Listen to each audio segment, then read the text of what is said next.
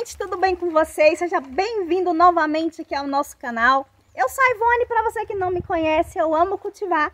E aqui no nosso canal eu ensino vocês dicas caseiras maravilhosas para você ter sucesso aí no cultivo das suas plantas, das suas hortaliças também. E no vídeo de hoje eu vou esclarecer para vocês bastante dicas sobre a nossa querida água oxigenada, gente. Isso mesmo. Resolve, não resolve? Como é que usa? Como é que faz? O que, é que ela combate?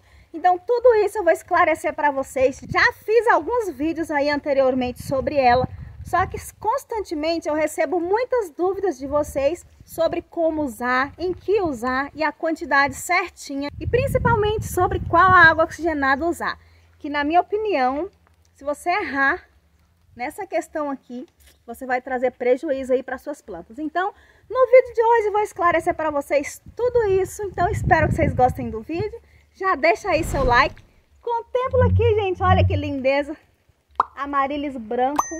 Meu novo xodó aqui da nossa horta, das nossas plantas. Então, depois da vinheta, bora lá pro vídeo de hoje.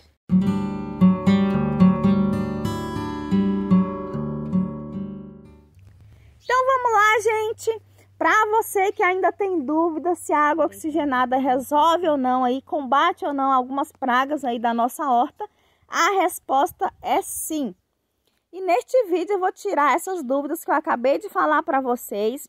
É, vou mostrar para vocês depoimentos dos nossos seguidores aqui que combateu uma praga que ataca bastante os citros aí com água oxigenada. Então espero que vocês gostem do vídeo e vamos lá. Gente, a água oxigenada ela é muito eficaz contra os pulgões e contra as cochonilhas. E ela também é uma excelente aliada para você que vai começar o seu cultivo, está desanimado, tem muitas pragas atacando. Então, se eu fosse você, eu prestaria bastante atenção neste vídeo, que este vídeo vai trazer um resultado maravilhoso para os seus cultivos.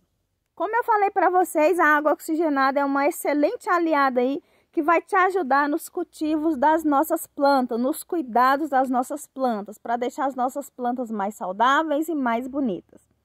Bom, mas antes de sair por aí aplicando, tacando qualquer água oxigenada nas suas plantas, eu preciso falar uma coisa para vocês aqui. Eu preciso que você preste bastante atenção no que eu vou falar para vocês aqui agora. Quando você for escolher aí a água oxigenada para aplicar nas suas plantas, jamais utilize a água oxigenada cremosa, tá?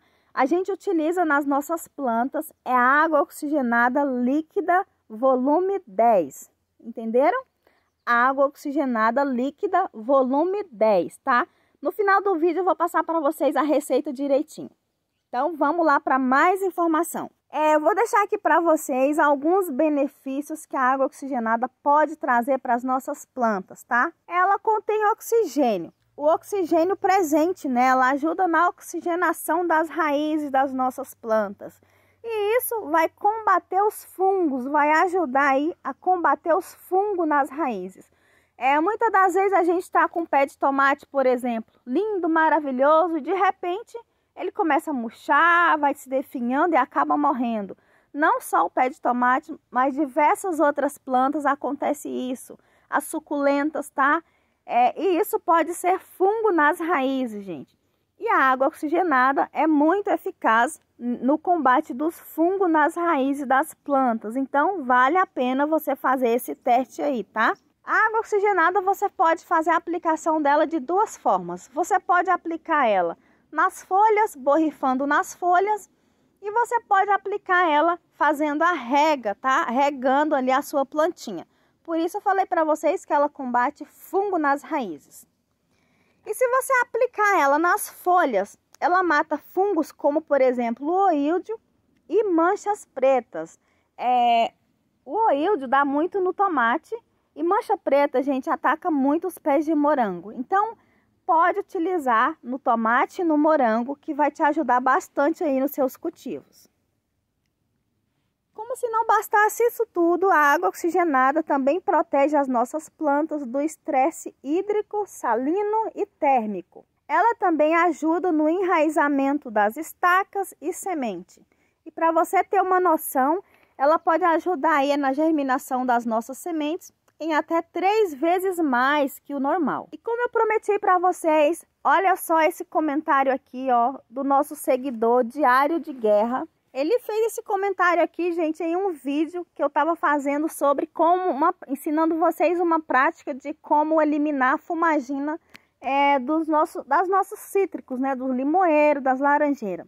E aí ele veio com esse comentário maravilhoso que nos rendeu até um vídeo aqui para o canal. Eu vou até deixar o link aqui na descrição do vídeo, tá? Gente, ele utilizou água oxigenada na receitinha que eu vou passar para vocês daqui a pouquinho. Ele fez a receita direitinho, aplicou na fumagina, tá? É, nos limoeiros dele, que estava sendo atacado pela fumagina. E resolveu o problema, gente. Então, essa fumagina, ela é muito...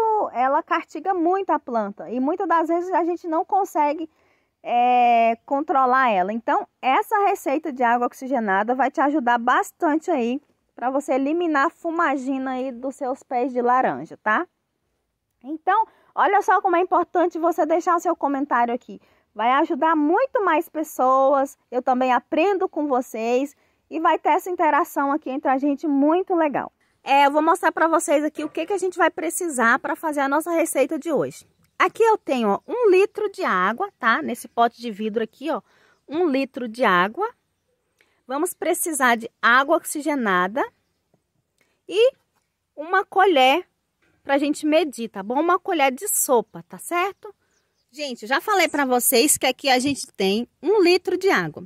A gente vai colocar aqui quatro colheres de água oxigenada. Lembrando, não esquece, gente, volume 10, tá?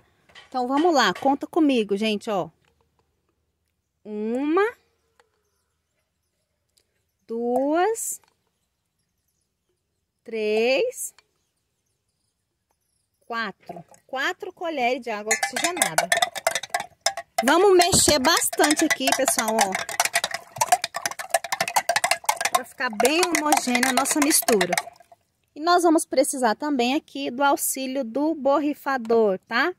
Eu vou despejar aqui com cuidado, que eu tô sem o, o funil, né? Prontinho, gente. Deu certo, né? Vamos fechar direitinho, dar uma agitada. Então, agora vamos aplicar nas nossas cítricas. E hoje, ó, a gente vai fazer a aplicação nesse daqui, ó. Olha aqui, a fumagina tá começando a atacar ele, ó. Tá vendo essas manchinhas pretas? São fumaginas já, tá vendo? E hoje a gente vai aplicar a nossa água oxigenada.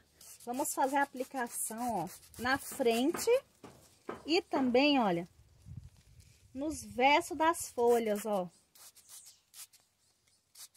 Pode aplicar bastante, gente. Olha essa aqui, ó.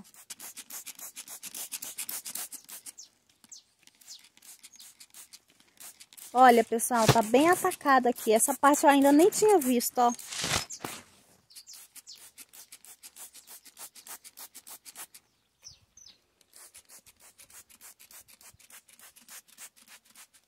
Faça a aplicação em toda a planta, gente. Que a fumagina, ela costuma se espalhar, né? E é isso, gente. Espero que eu tenha sanado as dúvidas de vocês aí, tá? Se você ainda tem dúvida, deixa aqui no comentário que a gente pode tentar te ajudar de alguma forma. Gente, só mais uma coisinha que eu esqueci de falar aqui durante o vídeo. Essa receitinha, eu não indico vocês preparar ela e guardar para usar depois, tá? Faça uma quantidade que você vai consumir no mesmo dia, tá bom? Porque ela pode não prestar depois.